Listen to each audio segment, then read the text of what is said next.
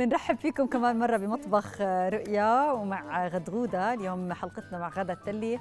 وهلأ كمان انضمت لنا أخصائية التغذية ربا مشربش لتحكي لنا عن كريمة الطبخ. صباح الخير. أهلا كيفك؟ أهلا. أهلا. كيفك يا غادة؟ الحمد بدنا لله. نتناقش طبعا أنا وربا إنه قد إيه المعكرونات أو ال- الأكل اللي فيه آه، يعني اللي فيه. كريمة. الطبخ بنقدر ناكله ما بنقدر ناكله؟ إذا بدنا ناكل قد إيه ناخذ قطعة؟ يعني شوفي مهم هذا السؤال لا تقولي لي. مهم جدا روان. آه لأنه عن جد هاي المعكرونات هلأ كثير الكل بيعملها. بس ما مزبوط ناكل كل يوم نعمل دايت. لا مش كل يوم. آه. بس مرة بالأسبوع. بالمناسبة.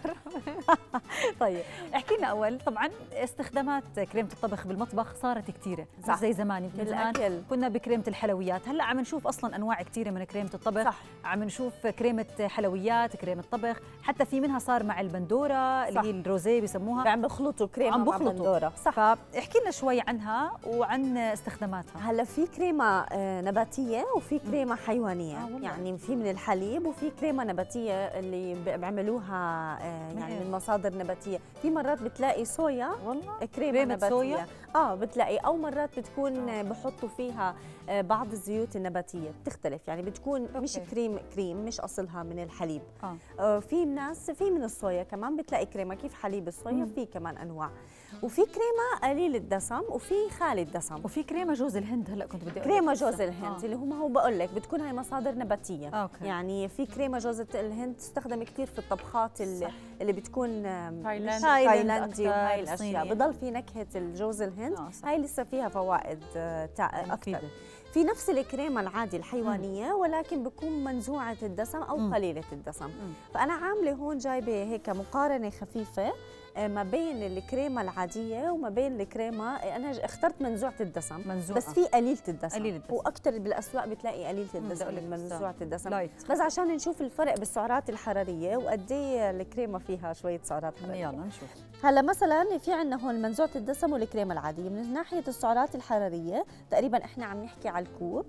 ال- منزوعة الدسم أو ال light بتوصل ل 170 سعرة حرارية بالكوب أما الكامله الدسم 455 سعرة حرارية. أوه بكوب فكمية بالكوب. يعني اذا okay. طبختك حاطة فيها كوب فهدول الأكلات مرات حتى إذا مش حاطة دجاج ولا حاطة لحمة ولا أي شيء بصفي اللي هي المعكرونة والكريمة لحالها فيها سعرات حرارية كثير عالية. آه بس ما أنت هيطلع لك قد إيه؟ كمية نصيب الشخص يعني صح. مثلا لو آه. كيس المكرونة أكلوه بيقضي مثلا ستة أربعة أكتر. مثلا أربعة. كيس لا المعكرونة مش أربعة لا. حسب أنا حسب بعملها ل تعمل. يعني بايركس ستة. الكميه نقول ستة ستة ستة على 400 هلأ عادة إحنا يبقى- بالكريمة ما بتحطي كوب بتحطي أكثر الكوب 250 ملي صح؟ إحنا بنحط علبة هاي. أنا بحط مرات العلبة. بتحطي العلبة هي العلبة هلأ في اتنين في نص آه، نص لتر. في ناس لتر فهون. بصفي آه، بدنا ننتبه لإلها آه هلأ بالنسبة لكمية الدهون هلأ أكيد منزوعة الدسم صفر بس في قليلة الدسم ممكن توصل لأقل. هلأ الكوب الواحد من الكريمة كاملة الدسم 44 جرام دهون. هذا. هذا كمية كبيرة والله. آه كثير يعني فيها كمية دهون. هلأ السكر طبعا إشي بسيط بس بيجي من سكر اللاكتوز اللي آه، أصلا طبعاً موجود. بالحليب. الكوليسترول 21 جرام عندنا من ال light وفي عندنا 136 موجودة بالكريمة كاملة الدسم اللي قليل منزوعة الدسم قد إيه فيها؟ 21 بس آه okay. فبكون أقل أقل هلأ في ناس هلأ بس نعرف شغلة عادة الكريمة قليلة الدسم ومنزوعه الدسم بكون طعمها أكيد مش زي كاملة الدسم يعني قريبة خاصة الحليب. قريبه الحليب الخالي ففي ناس شو بيعملوا ممكن يجيبوا الكريمة الكاملة الدسم ويخلطوا آه. مثلا نص آه، مثلا كوب يعني آه. كامل نص مم. مثلا قليل دسم ممكن، يعني هاي. طرق بنقدر تعمليها.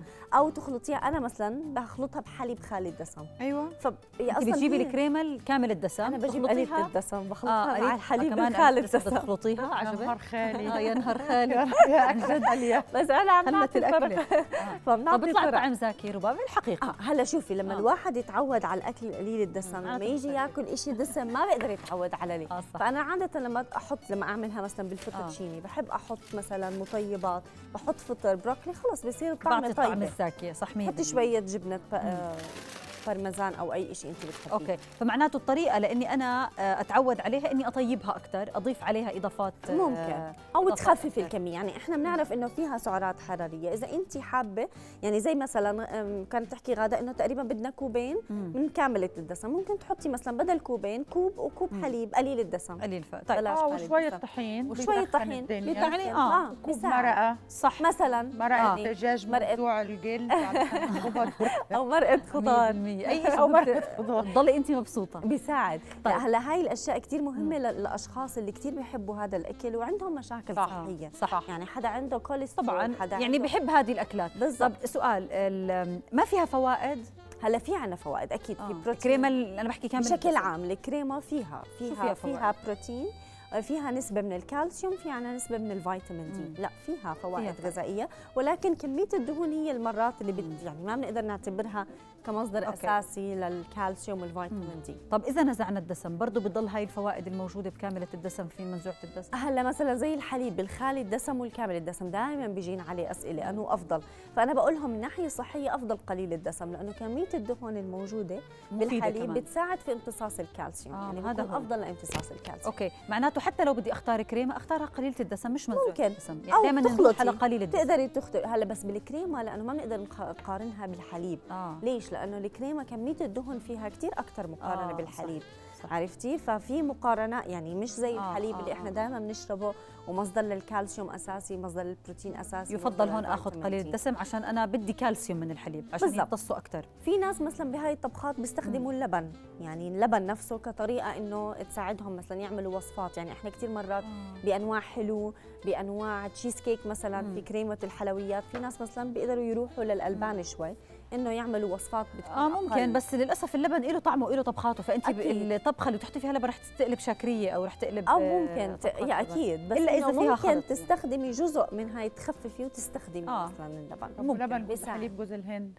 حليب جوز الهند طبعا بس طبعا حليب كريمة. جوز الهند والكريمة كثير مفيدة مم. هلا جوز الهند هو غني بالدهون المشبعة ولكن الأنواع الموجودة بجوز الهند تختلف عن الانواع مم. الموجودة في اللحوم. وكثير في دراسات انعملت على جوز الهند وفوائده الغذائية صح آه للصحة حتى التقليل من خطر الإصابة بالأمراض فممكن يكون خيار كثير جيد كريمة جوز الهند. لاستخدامه. سعراته طيب. الحرارية أقل من كريمة كاملة الدسم لا هو تقريبا. متقاربة آه. يعني طب بتيجي تقريبا طب متقاربه والحليب جوز الهند حليب جوز الهند برضه أقل من كريمة. أقل سعرات آه. طيب لا أقل. آه أقل بس أقل عايزه أسألك. على حاجة. كونه بيتباع عامة في علب حديد. حديد. ده آه. بيأثر على يعني هلا بهون ندخل بموضوع المعلبات. المعلبات وأخطارها. هلا إحنا دائما بنحكي أول شيء خيار الخيار الأصلي. الح- طبيعي. زجاجي كرتون بعدين للمعلبات. إذا في حال بدنا نشتري معلبات بدنا ننتبه إنها ما تكون مطعوجه آه. ما تكون بس أكيد بضل. في عنا وإذا فتحناها ما نحطها بالثلاجه بعلبتها نفتحها نحطها. تفرغيها. تمام. تفرغيها. شكرا كثير ربا لك. نورتينا اليوم. لنغادة سعد صباحك. شكرا. لك